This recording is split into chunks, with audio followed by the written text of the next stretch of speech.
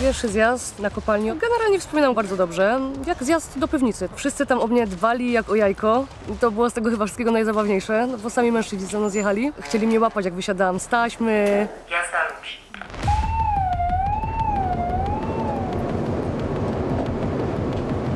Oni mnie nie dość, że zaakceptowali, to oni się cieszą, jak ja do nich przychodzę.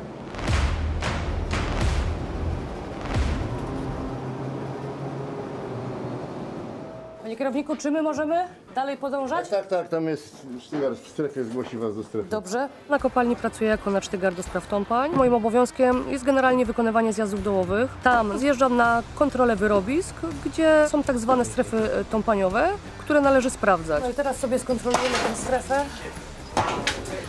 Strefę zagrożenia tąpaniami.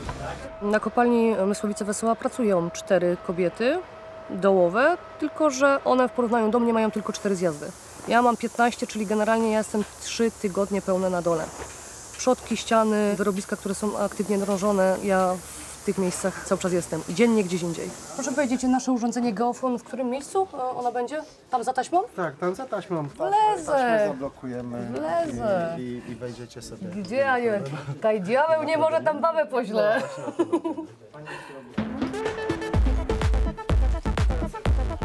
Geofon to jest nadajnik, który przesyła nam drgania górotworu do naszej aparatury powierzchniowej. Teraz sprawdzam, czy sygnał zostanie zarejestrowany do góry. Jeżeli jest dobrze podłączony, to będzie to pokazane na wykresie. Tutaj jest to ten właśnie nadajnik dołowy o numerze A49. Aparatura jest zabudowana poprawnie. Mamy zamontowaną tablicę pokazującą, że jest tutaj to... Oż cholera!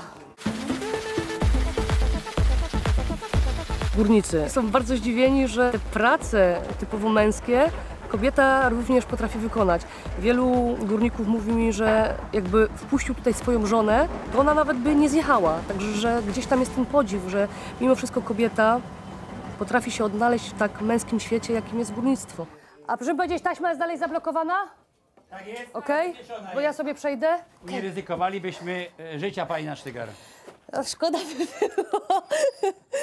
Często zdarzało się, że na ścianie byłam na całej fedrze, kombajn chodził, pył, te wszystkie czynniki, które gdzieś tam są bardzo ciężkie, ciepło. Myśleli, że ja tego nie wytrzymam, a tak naprawdę mnie tam pasuje. To są takie warunki, w których ja dobrze się odnajduję.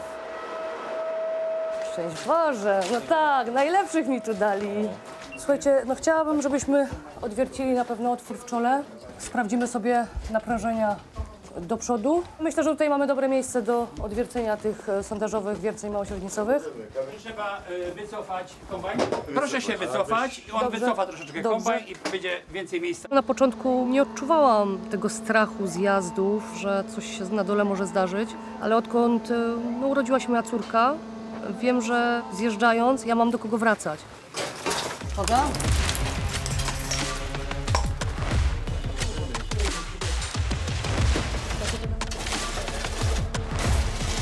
Panowie chyba nie pojedli, coś siły nie ma.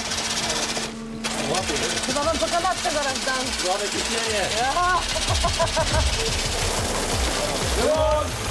Większość ludzi uważa, że praca na kopalni w górnictwie to jest taki zawód stricte męski.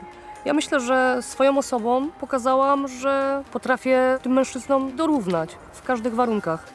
Podobnie, jeden litr. Tak, tak. Zapiszcie to od razu te dwa metry sobie, żebyśmy mieli to już zapisane. w naszym... Tak, rozumiem, żeście zgubili po drodze. To też jakieś kradzione mam, także kradzione najlepiej piszą.